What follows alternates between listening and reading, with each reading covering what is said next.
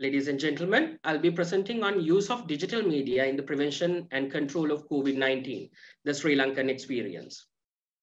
So digital media is any form of media that uses electronic devices for the distribution of content. The use of digital media increased globally and locally during the COVID-19 pandemic, and therefore provided an ideal opportunity for health communication through digital media platforms. Therefore, the Ministry of Health developed a social marketing campaign, a 360 degree campaign where digital uh, media was one of the most important uh, components of it. A six-week campaign was developed through expert consultation using multiple platforms. This included the most frequently used and most popular platforms such as Facebook, YouTube, WhatsApp, and other popular websites, mainly targeting the news websites, which has high traffic. Creative content was specifically developed in the form of static posts and animation videos for Facebook, direct messages for WhatsApp, then display advertisements or banner advertisements uh, for other popular websites, then also roadblocks, and that means hardcore embedded advertisements were also developed for popular news websites. Also, we engaged influencers in the process and developed videos through influencers as well.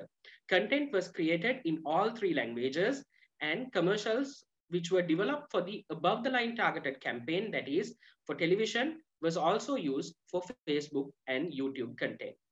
The most important feature of this campaign was that it was a dynamic campaign where the feedback received for the initial post in the form of comments guided new content creation. So this provided a two-way communication where we engaged with the participants or people who used our digital platforms and communicated with us or shared their feelings and those guided our new content creation.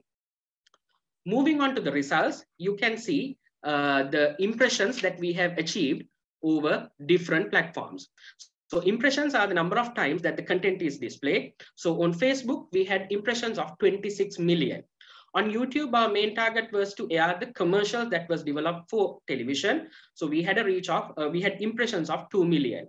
Google Display Networks uh, had an impression that is through banner advertisements of 19 million and direct placements on the major news networks in Sri Lanka, such as Hiru, Derana, and uh, Sirasa had 27 million impressions.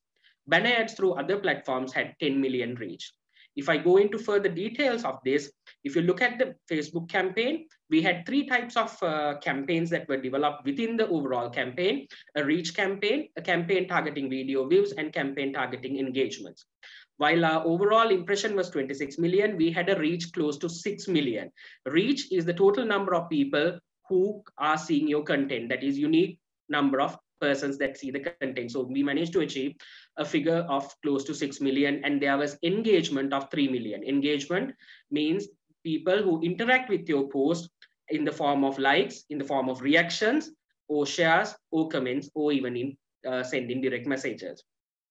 Direct placements in popular websites through hardcore advertisements and banners had 27 million impressions while the engagement was close to 3 million. In WhatsApp messages where video push notifications and banners were sent, we managed to reach 500,000. So therefore, this enhanced use of digital media, especially during the COVID-19 pandemic, provides an ideal opportunity for us to use it for health communication. And this can be done at a much lower cost compared to the traditional above the line media methods, that is your television, radio, and press. We only use 20% of the overall budget of the campaign for digital media. However, it has to be further studied how different target groups which are at higher risk engage with these uh, activities on digital media. Thank you.